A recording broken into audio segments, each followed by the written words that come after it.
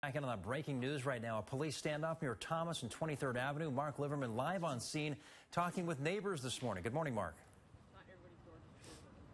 Uh, yeah, and since we last went live with you, we've heard bangs, what sounded like flashbangs. We just heard one again, uh, sounded like a flashbang. You hear it right there going on right now uh, next to that police activity next to that area right there. Uh, just a couple seconds ago, we heard some glass breaking as well in that immediate area. See all the police activity, SWAT just past that in that area.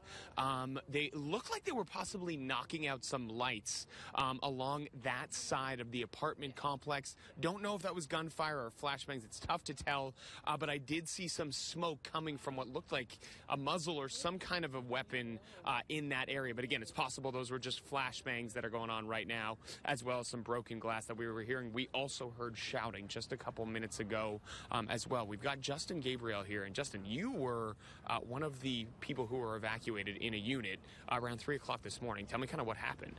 Uh, just being startled awake to a huge pounding. Uh, kind officer told me that an incident was happening just a couple doors down, that they were evacuating certain key points of the apartment so individuals can be harmed. Okay. Um, what happened next once you came out into this area? I know there were a couple people um, here as well who were also evacuated. What, what kind of happened over the last couple hours since then? Uh, there's been a ton of police activity, especially like crowded around the door, uh, SWATsmen coming in and out. Uh, heard through the grapevine here that there's that they're knocking out some lights, and that he's held up in his place a little bit. Did you? I know we have been hearing shouting. We've been hearing those, the sound of um, glass being smashed. We heard some what sounded like possible flashbangs a couple seconds ago. Um, you say you've been hearing that for a long time, possibly since almost this started. Yeah, I've been out here for about almost close to three hours, and it's been nonstop of just crazy activity and loud banging, a bunch of glass being broken. I can't even imagine how scary, first of all, being woken up to this and then having to stand here, kept on this side, what this is all like for you, for Stacy, for all these other people who've been evacuated. I'm honestly just glad my, my wife and my two year old son aren't here to be out here in the morning. But uh, thank God a lot of ch- people's children aren't out here at this time of night.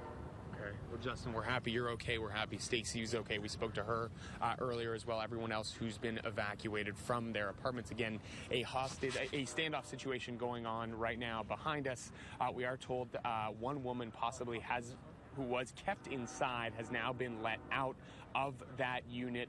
Um, but we do know there is still that man inside of that unit. Again, we heard some flashbangs or possible gunshots. Unclear what those were. Uh, but we're going to continue to work the story uh, and bring you the latest coming up. Back to you. Oh, I would say probably a